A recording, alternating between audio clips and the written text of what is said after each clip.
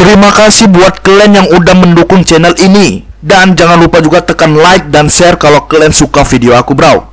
Dan subscribe biar kalian gak ketinggalan video aku yang baru. Subscribe itu gratis, tenang aja bro, gratis. Halo halo halo halo bro broku Jumpa lagi kita bro. Di video ini aku mau ngebahas tentang pertandingan antara PSMS Medan melawan Blitar United yang alias Persib B bro. Betul kan?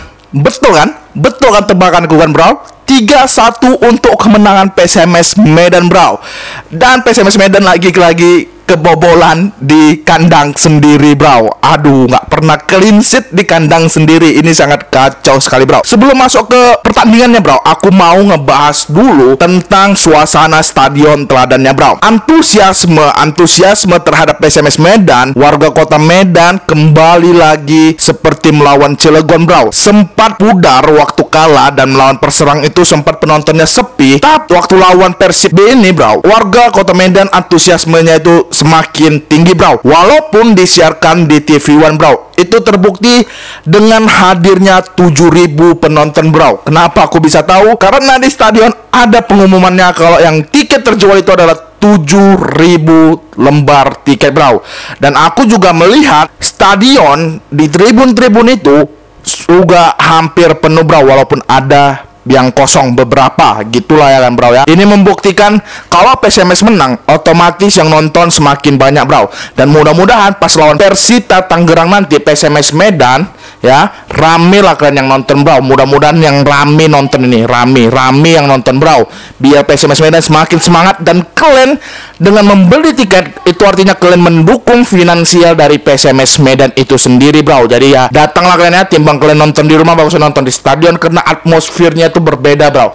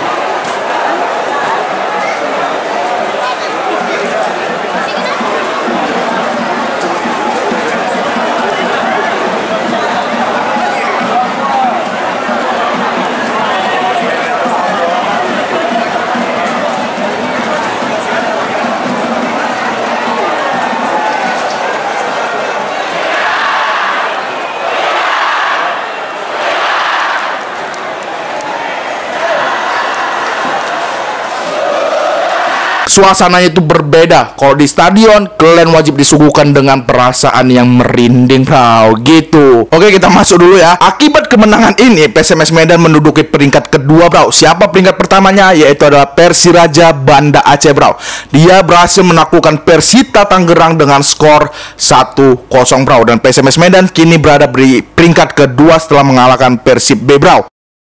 Lanjut aja kita langsung masuk ke pertandingannya bro. Di babak pertama PSMS Medan terus menggempur pertandingan eh, pertahanan Persib B.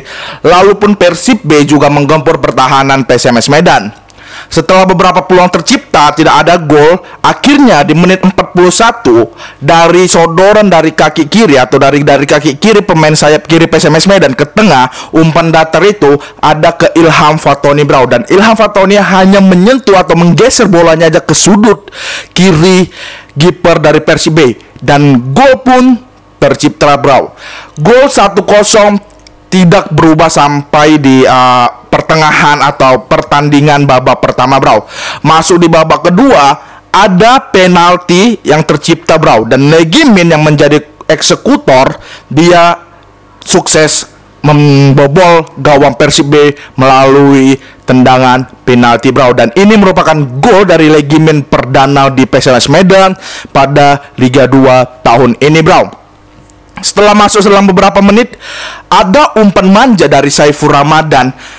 Anturan dia umpan ke Natail atau tapi Natailnya diam aja jalan, dia tidak mengambil bola. Itu adalah jebakan yang sangat luar biasa sekali, taktik yang sangat luar biasa sekali. Tapi dari belakang Ilham Fatoni itu langsung lari dengan R1-nya yang sangat kencang itu, lalu dia menge, apa membruskan bola atau melambungkan bola dan mulus langsung masuk ke gawang Persib tanpa menginjak tanah atau menyentuh tanah sebelum garis gawang lewat bro itu adalah gol yang sangat kelas menurut aku bro gol sementara 3-0 untuk kemenangan PSMS Medan.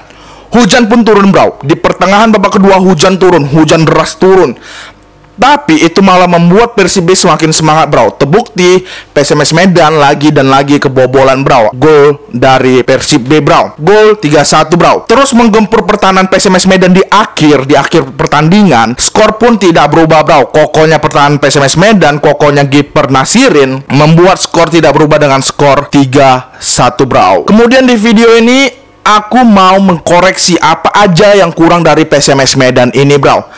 Yang pertama eh bukan yang kurang ya, bukan yang kurang, tapi apa aja yang berubah dan yang bagus dari PSMS Medan pada pertandingan itu, Bro. Yang pertama, ya kan, kehadiran Mamadou Al Haji.